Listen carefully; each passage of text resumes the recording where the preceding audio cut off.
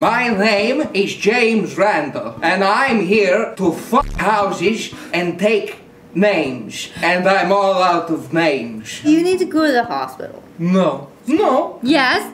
You No. What's wrong with me? You may not like it, but this is what peak performance looks like. what are you what are you doing?